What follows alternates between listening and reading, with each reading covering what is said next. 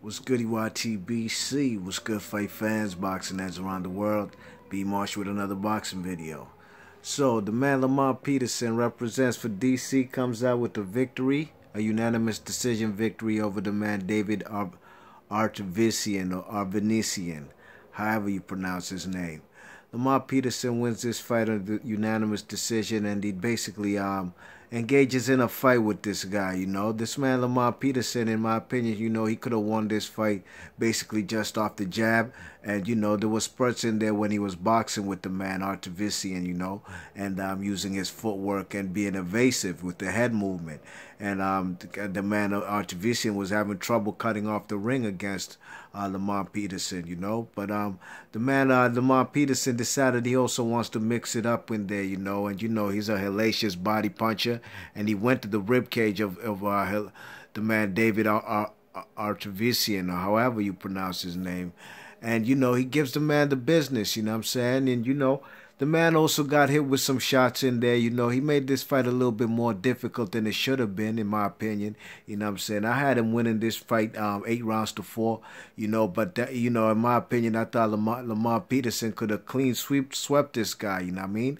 There was nothing spectacular, you know, this guy had no special effects in him, this David Artavisian. You know, even that fight with the, when he washed, when he washed the over the hill um, Shane Mosley, that fight was a lot closer than a lot of people would uh, um, giving credit for. You know, they just uh, gave a lot of you know, a, a, lot of noise to the man um, Shane Mosley for losing the fight, being a legend, you know. But this guy, you know, he's a good fighter, man. But you know, there's nothing special about him, and Lamont Peterson handles him easily. You know what I mean?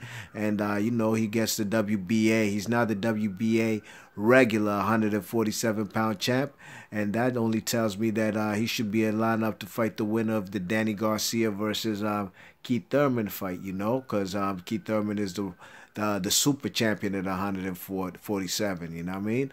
So you know this was a good fight. You know it was um pretty much some uh Lamont Peterson was throwing hellacious body shots. You know he was going to the head. You know he's not really a hard hitter, but you know Lamont Peterson. You know those body shots they do take a toll on an opponent. And he gets it done, man. So hopefully there'll be bigger and better fights for him at 147. You know, hopefully we could even see him with guys in there with the likes of like Kell Brook or Errol Spence or, you know, whoever good welterweights that's out there. We already seen him fight against Danny Garcia, and I thought Lamont Peterson won that fight, but we shall see. We shall see who wins that fight with, between uh, Keith Thurman and uh, Danny Garcia. So that's my vid for this fight. Uh, Lamont Peterson wins, and I'm going to catch you on the next vid. Peace.